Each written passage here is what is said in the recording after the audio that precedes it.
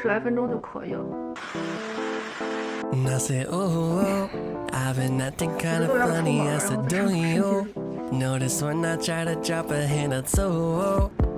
今天 是周日的两点四十六了。我本来是想给大家展现非常健康、积极生活那一面，就恨不得七八点就起来，然后洗漱什么吃早餐那种。但是算不中天算，反正今天一睁眼就是十二点了。我刚洗完澡，然后正好现在开始护肤。我最近在刷酸嘛，其实刷完酸的皮肤就是很敏感脆弱，需要给皮肤充足的水分，所以其实补水和防晒都特别重要。先做补水这一步吧，补水最有效肯定还是补水面膜啦。啊，用的是之前开声介绍过的这个怡莲的玻尿酸面膜。前边也说了，就是刷完酸的皮肤是很敏感脆弱的嘛，就需要补水啊，所以后续就不要用就是成分敏感刺激，就类似于美白呀。抗皱成分的护肤品，就是功能越简单越温和越好。这款面膜的成分是挺温和的，有五重透明质酸，其实就是玻尿酸，可以照顾到就是皮肤的每一层的锁水保湿。像神经酰胺就是有那个保湿、修复屏障的作用嘛。益生元就是可以维稳肌肤的，不添加防腐剂和那个刺激的成分。而且我是咨询过客服的，他说是可以刷完酸之后的皮肤用。我好像就是很久没有这个角度跟你们拍过视频了。我现在其实是坐在一个小板凳上这，这个敷着感觉就特别舒服，你知道吗？服帖。完美，精华液往胳膊上抹一下。我来利用这个时间涂一下指甲油。这个也是上次开箱出现过的那个指甲油，非常好用。就它涂完之后，感觉指甲健康强健了很多，而且干的特别快。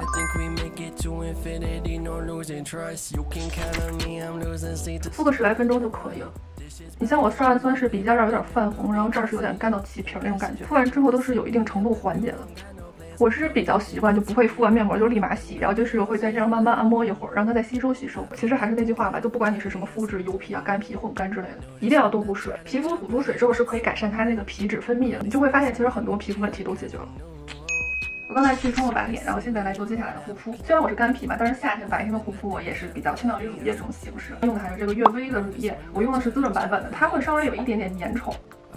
两泵，嗯，它是有一点抗老功效的。它宣传就是由内抑制老化蛋白。抗老这个事儿，我觉得它是一个过程，就是没有任何一个产品是说可以涂上去之后皱纹啊什么下垂立马得到改善，立马消失了。但是你很早就不管是做护肤品，还是一些生活习惯，还是医美开始做的话，那肯定比不做会强很多。脖子上也来一点，我这个颈纹真的是有点严重，我得加快，我头发都快干了。这个是雅诗兰黛的抗皱霜，这个其实还蛮贵的，然后是别人送给我的，但是我一直没有拆开那个套装，在柜子里放着，结果就放过期了。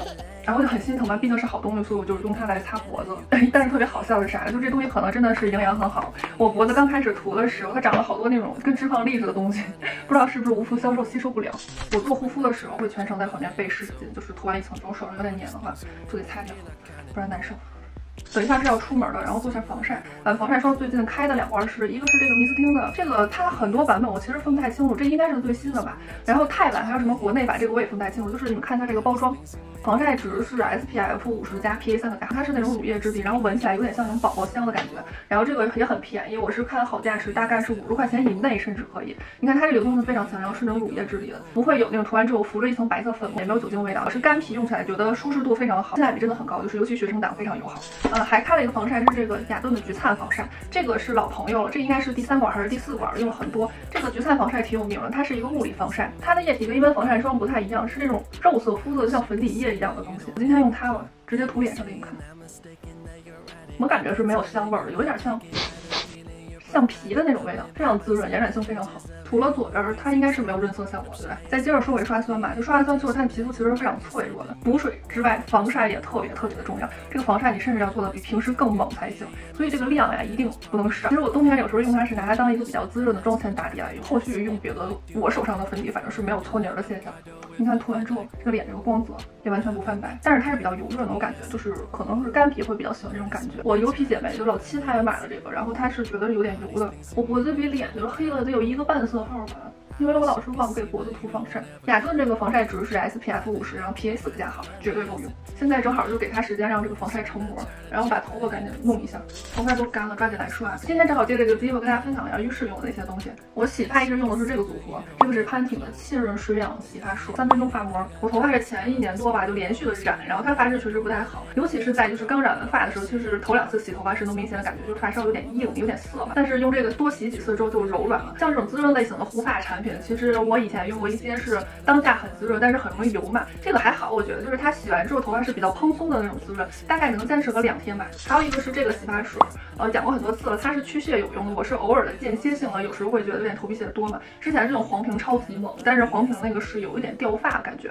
是时间长了才能感觉到。它细节真的特别的多，我也不太分得清其他的就是效果有什么不同。我觉得比较直接有效的时候，你可以咨询他们客服。这三个是很久都没有换过了，然后基本上是用这个潘婷，然后间隔一个礼拜多或两个礼拜用一次这个，然后巩固一下去屑的作用。然后他们加在一起，反正我觉得我现在发质还 OK。反正也说到这儿，再说一下浴液了，是这个多芬的植萃沐浴乳，这个是玫瑰味道的，瓶子就挺好看的，就是我感觉多芬好像有点开窍了，就是它呃从大概两年前吧，就这包装就变得很好看。它同系列的有一个透明瓶子那个洗发水，我买过之后非常不好用，就不要买那个，那个用完的头发超级涩，可能很油的那种发质会喜欢吧，反正受损发质不行。它这个沐浴乳是味道很好闻，是我喜欢那种玫瑰味道嘛。还有一个是我自己没有察觉到，就是老李说，像男生他用沐浴乳就很不喜那种洗完之后滑溜溜，好像冲不干净的感觉。但是他说用这个是可以冲干净，就是摸起来是有点涩涩的，不是干，就是摸起来没有那么的滑溜，洗不干净的感觉。这是第二瓶也快用完了，我应该还是会回购这个的，终于可以吹头发了。护发精用的是卡诗，这个也是第二瓶，还剩这么一点，也快用完了。这个东西是真的很好用，它和它俩搭配在一起，我现在的发质真的不错。再加上我染了这个黑发嘛，就是上次过节回家的时候，就是婶子呀、什么姑姑呀，就是看见我都会夸，说我现在发质就是又黑又亮，看起来特别健康。挤大概两泵嘛，然后头发分两边儿。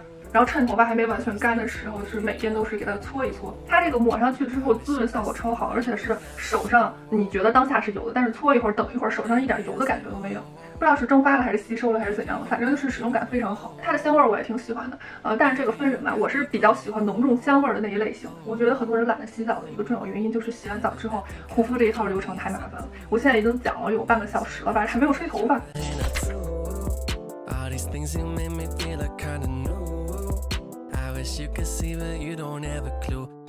我这个头发现在吹着好蓬松啊！你看我自来卷是前面刘海会自己有这个弧度，这是自来卷带给我唯一的好处。然后再挤点精油，就是挤一泵就行了，不用挤刚才那么多。发稍微再来一遍，然后这个发质就会显得很好。我真是太喜欢现在这个黑发了。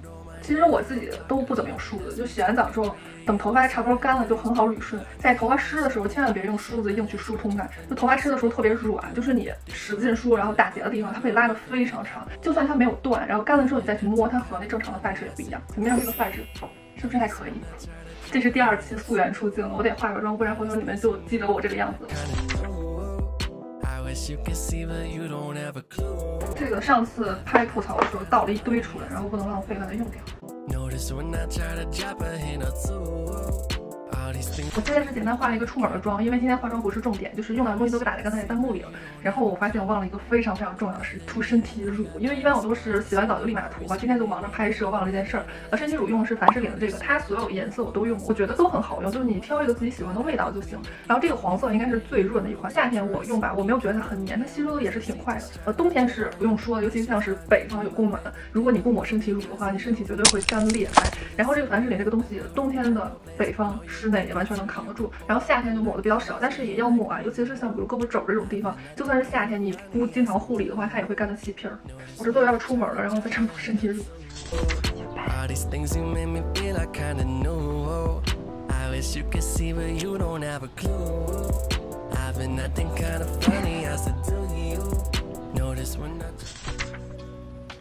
现在是晚上的十点五十了，刚回来。我们晚上出去吃饭，特别好笑，就是那个地儿啊，它是特别有情调的，是一个呃有露台的那种露天的那种，嗯，然后两边都是花什么的，非常好。我们去的比较早嘛，就吃完饭的时候天刚好黑，然后那会儿有新来的。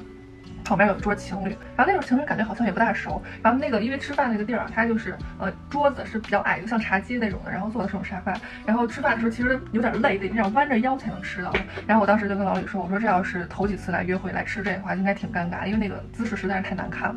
然后旁边那桌就是这种情况，东西都已经上来了，然后就是男的女的都不太好意思吃，都在那玩手机假装。而且他们来的时候天已经黑了，就是他那个因为为了情调，可能是桌上只有一个小小的一个就是这么圆的一个光源。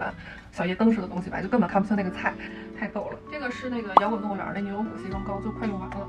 这个就挺温和的。我们家洗手间那个太小了，就没有地儿放那个相机，所以就是在这儿做一下卸妆。我去冲一下脸。我觉得我最近皮肤状态真的还挺好。然后今天跟大家聊一下刷酸这个事儿。我是去年开始接触刷酸，就是关于刷酸的那个理论，然后它的那些科普的知识，呃，有很多比我更专业的。我今天是只给大家讲我使用产品的感受。现在洗完脸把脸擦干了，其实是还是有点干的，所以你可以先补一层那个补水喷雾，或者是比较温和的那个化妆水。我不是很喜欢它这个味道，但是就是用不完呢，我也没有办法，不能浪费。拍一拍。我刷酸用的是这两个产品。这个是水杨酸棉片，然后这是百植萃的面膜，它俩都非常便宜，这个应该是五十块钱左右，然后这个是一百块钱左右吧，价格是很实惠的。然后第一个接触的是这个棉片，我这是在有一期 vlog 里边跟大家分享过，我眯眼睛了。它就是操作非常简单又傻瓜的。里边是这样的棉片，分两边的，一边是有凸起的，一边是没有的。它介绍应该是凸起的就可以这样擦拭，然后这面是没有凸起的直接敷。然后我比较建议，如果你从来都没有就是用过这种酸味的护肤，就千万别直接上来就直接敷，真的特别疼。你得慢慢建立一个耐受的过程。这个耐受的过程其实说的直白点，就是让你皮肤有适应过程吧。我第一次刷牙的时候就是觉得我脑门，然后鼻翼两侧还有下巴这儿是比较皮糙肉厚的，这样。擦了一会儿，一般他们官方都是建议一个礼拜一到两次就可以了，而且是比如你皮肤是有伤口的话，也最好不要刷。我好像是讲过，我一开始是怎么试这个东西的，我对它很感兴趣，但是不敢用，然后拿那个老李的脸做了一下实验，他就是给他擦完鼻头，然后稍微敷了一会儿，他比较皮糙肉厚，根本不怕这个。第二天他跟我讲，他就觉得鼻子这儿就是摸起来非常干爽，也没那么爱出油了，而且觉得黑头好像也变少了，然后我才敢用的。擦过之后，就是它会有些液体留在脸上嘛，我是没有洗掉，就让它干掉之后，然后直接涂下一步，用个大概两三次，然后你皮肤觉得没事了之后，然后你再考虑这样湿敷它。呃，如果第一次用你觉得超级疼的话，就赶紧立马洗掉。我最近脑门这是老觉得有那种一抠就能抠下来那种透明的小粒粒，给它敷一敷。什么呀？我真是在你们面前什么洋相都出过了。然后是这个百池萃的果酸面膜，它是那种透明的纸。啫喱的质地，直接拿它当涂抹面膜敷就行了。就是你避开眼周，然后和你脸上就比较敏感刺激的地方，其他地方就是敷一层，然后过个十分钟左右，然后把它洗掉。当然，它不是说你擦完之后什么闭口就消失了，黑头也没有了，然后痘痘也不再长了，没有那么神奇。比如像我下巴这有闭口的地方，涂了两次之后，就那闭口感觉就加快它成熟的速度，然后你再摸一摸，就是一抠就能抠下来。像痘痘，就是我感觉它是能把你还没有长出来痘痘催出来，这块痘痘爆出来，然后再消下来的时候，感觉皮肤就会变好。涂完酸之后，你会发现第二天，比如像鼻翼这种地方，它会爆皮儿，真的会爆，就算是夏天它也会起皮儿。所以就是刷完酸。之后一定一定一定要补水保湿要做好，还有像我白天提到防晒非常重要，因为你刷完之后皮肤超脆弱。不正常的护肤流程就会用这个，妈呀，这叫什么来着？健肤水，对对对，然后是这个绿宝瓶精华。刷完酸之后的皮肤就是其他任何东西都不用了，要不然就是厚涂这个百优面霜，要不然就是厚涂这个安心霜。我今天就用这个安心霜吧，这东西真的太好了，太好用了。敏感皮肤啊，容易过敏的，然后你比较容易泛红的，真的可以备一个这个东西。我因为这个安心霜对理肤泉的印象特别好，它这个安心霜有两个质地，一个乳液，一个是这个霜的。干皮的话选这个霜比较合适。我前阵子不是试那二支口红吗？就是分两天来试的，嘴巴这一圈又有点那啥了，给嘴巴这儿多涂点。看见这个油光了吗？这个就是我们干皮的安全感。好了，现在就是护肤就全都做完了。哦，不对，没有涂唇膏。我因为吐槽这个，真是没少被人吐槽。不过后来有姐妹告诉我，它是有那种小铁罐装的原味的。因为我一直是在那个屈臣氏还有那个国内的那个旗舰店来看是没有的，我就以为没有。然后还是这个过期的这个面霜，往脖子上来一点。老李说我有一些习惯真的有点像六七十年代的人，过期的东西舍不得丢。勤俭持家嘛，呃，我能想到的关于护肤的一些东西就都跟大家分享了。我确实也想拍 vlog 跟大家，但是因为这一两年没有什么机会外出旅游嘛，我觉得我自己的生活其实挺无聊、挺枯燥的。但是这种稍微有点主题的话，可能还有点意思。如果大家还想看什么主题的话，可以就是分享告诉我，我就会考虑进去的。谢谢大家陪我度过这一天。现在是十一点十四分，晚安。我去剪片了，根本不能说。